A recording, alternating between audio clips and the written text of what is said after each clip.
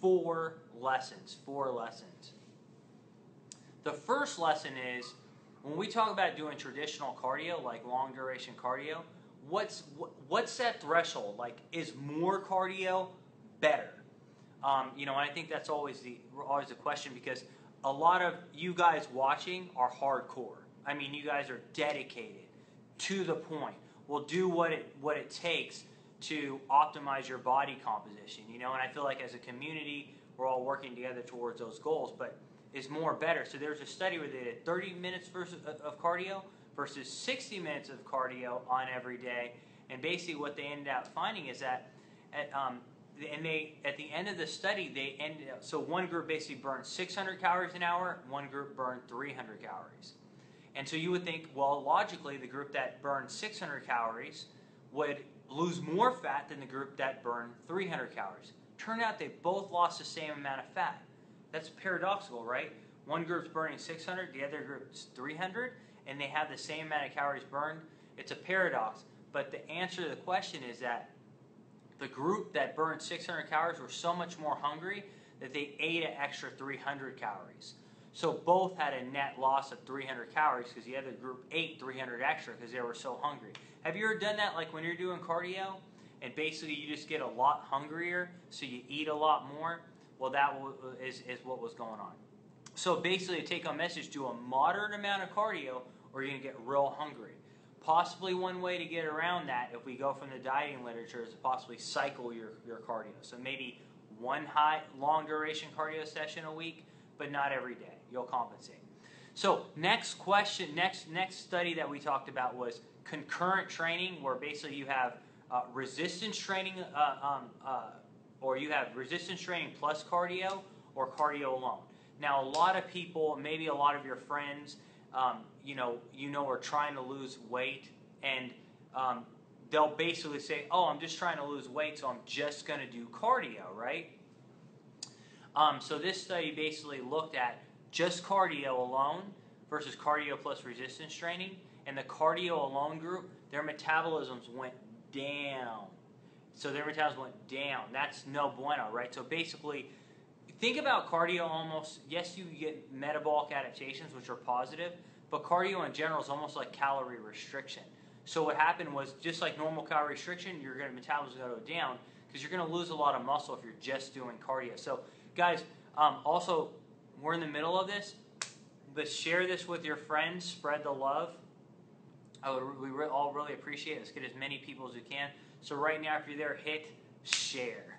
Uh, so, okay, so let's go on. So the next thing that we talked about, actually today's post, was actually quite interesting, right? It was on the PYY. uh, so this was, remember we talked about how long duration, low intensity cardio um, can actually um, slow your, uh, make you hungrier.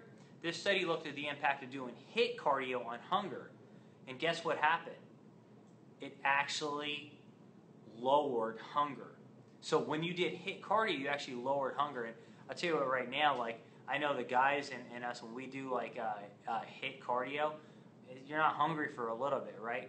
There's a couple reasons why, but one is you stimulate the release um, of a satiety uh, uh hormone called PYY. So PYY um, is released from the, in, the intestine, the small intestine, and basically stimulates, tells your brain that you're more satiated. And high intensity cardio stimulates PYY and makes us not as hungry. So again, if you're trying to like, if you're real hungry, do a few sprints. That'll raise adrenaline. That'll make you less hungry, and PYY will also make you less hungry. So let's go ahead and transition to what tomorrow's lesson is going to be because I think I'm going to be on a plane tomorrow to Louisville, Kentucky. But there's a I don't when I say I think there's a hurricane coming through, and I don't know if I'm going to be on that plane. So we might have a hurricane Q and A uh, tomorrow. But it, but anyway, uh, let's go ahead and talk about uh, this last study, and that actually and Andy Barninger here um, published that in abstract form. Uh, at the NS, NSCA National Conference, and he presented that data. And so what, what Andy basically in our lab showed was that if you do HIIT um, versus steady state cardio, What's the impact on keto adaptation? And what did we find, Andy? That HIIT increased um, ketones more than steady state. Boom. So basically, what happened is HIIT increased ketones more in steady state. So you became like basically keto adapted faster. And we think the mechanism for that is because you deplete muscle glycogen. So, guys, that's the lesson. And take home messages are one, HIIT cardio basically it, uh, makes you more satiated, like you're not as hungry. Moderate duration cardio doesn't really increase hunger at all, and you can lose fat on it. Doing more than 30 minutes, you pretty much X things out oftentimes because you just get so hungry. Um, so if you're going to do more, you're going to have to be very strict on your diet, and it's going to be harder to be strict on your diet. Um, finally, HIIT cardio uh, from the man himself, uh, Barninger over here, Andy Barninger, basically shows that you keto adapt faster than low intensity cardio. So from that, guys, thanks a lot. Share this stuff. We're getting ready to answer your questions. We'll do rapid fire. Just answer your questions here. Share the love. Uh, like uh, Jessica right here, she's sharing the love. We love you too. Uh, and uh, let's do it. So, first question What kind of cardio is best to keep retain lean muscle mass? Um, what's the best type of cardio to retain lean muscle mass? Um, well, I would say that our lab, we did a study where we did HIIT cardio versus low intensity cardio, and we did it on hockey players. The HIIT cardio actually caused an increase in, in quad muscle size. I think we're the first study to show hypertrophy with HIIT cardio, and we published that study. Um, but the low intensity cardio caused a low decline in muscle mass. So I would say HIIT cardio. Is fasted cardio bro science? Fasted cardio is a bro science. Some people say yes, some people say no. We only have two studies on fasted cardio and actual body composition changes. One was Ramadan, and it showed a benefit. The problem was that they didn't control for diet. One was by Dr. Brad Schoenfeld, where they gave a shake before exercise or immediately after, and they found no differences in body composition. But traditionally, when people do fasted cardio, they'll do fasted cardio and they'll stay fasted till the afternoon. So, would that work? I don't know. So, it's not bro science because we don't have enough studies on it. So, I'm not going to say yes or no. Um, I, you know, don't know. Best type of cardio for on a ketogenic diet? That's another thing. Like we have no studies on on that. What? Well, actually, going with Andy's thing, and Andy's study that he did, uh, HIIT cardio makes you keto adapt faster. So, um, but the one thing I'll say is that, yeah. So I'll go with that. Best types of supplements on cardio while doing cardio. Best type of supplements doing cardio. Well, you want to spare muscle mass. So I'm going to go with HMB. That's going to spare muscle mass for sure. Um, and uh, you know, BCAAs are positive. What do you guys think? Do you guys have questions? Have, no. Okay. Uh, the other thing I'm going to say is this: when you do cardio, you're trying to burn fat. So you, you know, ideally, you don't want a lot of carbs around your cardio session. Um, it may blunt some adaptations, uh, mitochondrial adaptations. So I would say things like MCTs, if you need energy, could give you uh, energy for the cardio.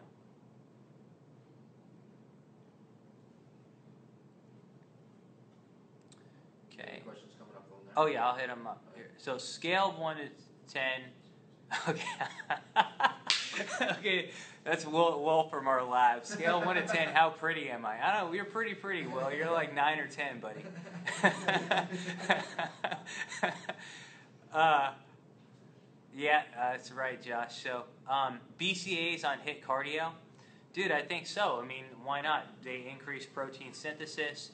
Um, and I think they absolutely could be beneficial. Um, all right, so this uh, Dre said, "What's up from Hawaii? What's up, my man?" Um, uh, hi, Kem. Uh, is ketogenic diet the best for a quick fat loss? How would someone who works out five times a week intensity and do intervals expect to lose in one month following a perfect setup of keto? It depends. Everyone's different. You know, I would say if you're super lean, very lean, a half a pound to one pound a week. If you're over 20% body fat, you could lose anywhere from one to five pounds a week. I mean, obviously, at the beginning, a lot of that's going to be water weight, but let's say maybe two pounds a week on average if you have a lot of body fat. Half to one pound a week on average. But the point is, you're not going to be that hungry on a ketogenic diet. Like uh, I'm doing keto uh, right now, especially with travel, and I left Norway. I because the time zone's so off, I overslept, and I had to rush to the plane in Oslo. So I didn't get to the, plane ride was like nine hours, and I didn't I didn't get to eat for almost like 20 hours, I wasn't hungry. Fact, I was in the keto zone. so all right, this, you guys gonna ask me ask questions? You want me to just go ahead? Um, Does um, how long does it take to to make metabolic adaptations while doing cardio? how long does it take to do metabolic adaptations? With, So until you adapt to the actual cardio, so say you start with 30 minutes and then you plateau, then you bump it up to 60 minutes, then you plateau. So yeah, from looking at this study, since most studies are like four to eight weeks and stuff, think about it, you adapt to a diet in anywhere from seven to ten days. Well, I don't mean like fully make adaptations, but I'm saying you are making adaptations. So even a cardio, you're probably making adaptations within the first week. You'll you'll know you'll start noticing hunger adaptations. You'll be hungrier, you know, at within a week. Um, let's see, real quick here. Do you uh, Con asked, do you need to be in a caloric deficit if shredding by a keto? Thanks. Um, to be honest, we actually did a study where we put people on maintenance calories, and they had body recomposition. They, you know, they lost fat and gained muscle at the same time. So no, you don't. um, Stephen says, if you walk in the mornings, is it beneficial to change the duration, uh, uh, increase slash decrease every day? I mean, walking when it is so low intensity that I don't think you adapt as much to walking. We're really talking about being in that cardio zone. How many questions should I take more?